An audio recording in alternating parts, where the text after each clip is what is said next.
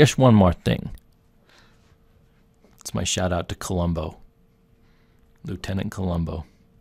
If you haven't uh, seen that show on Netflix, I love it. It's great. All right, so I, I see, I just realized I, I didn't address this, and I see this uh, from time to time, some confusion on this. If I have a number like uh, 1, 2, 3 in base 16, and I'm converting that to base 2, what tends to happen is we, we do our same thing with the, we divide this up into chunks, and we say, okay, so that's a 1, 1 is a 0, 0, 0, 1, and then we have a 2, which is a 0, 0, 1, 0. And then we have a 3, which is a 0, 0, 1, 1. What I see is because we've divided them up like this, and because I've told you it's okay to strip off. Wait, something's wrong there. That. Um, uh, erase my little line here. Um, what I see is sometimes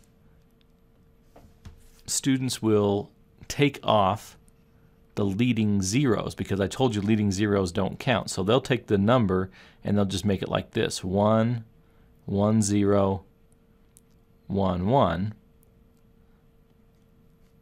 because they've taken off those two zeros that were leading, they've taken off those two zeros that were leading, and they've taken off those zeros. Okay?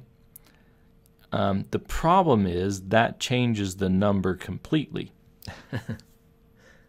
you can't do that because, yeah, it works out for us to just take those four bits in this number and put it there because this is 116, right? 116. But what happens is if we look at the how much this is worth, we got the ones, twos, fours, eights, uh, 16s, 32, 64, 128, 256. So I've got a 256 plus a I'm getting confused with all my lines now. That's got to be a two, 16, 32. Yeah, so 32, a 2, and a 1. That's what we have, okay? So we've got uh, 288 290, 291 is that what this is equal to in base 10. This is equal to 4, 8, 16. So this is equal to 16 plus 8 plus 2 plus 1. So that's going to be 24, 26, 27. Those not equal.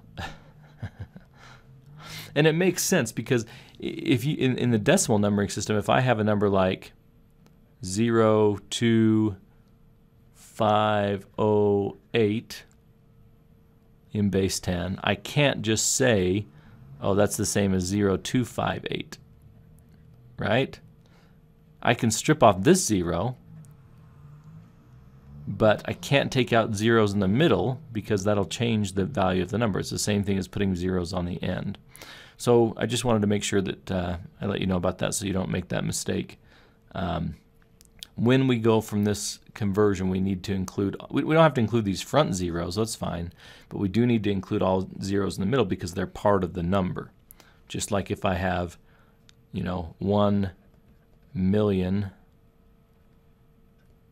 and $5 in my bank account, I don't want to strip out all those middle zeros and end up with 15.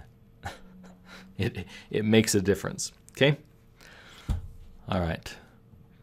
Exciting stuff, right? Very good. Spencer out.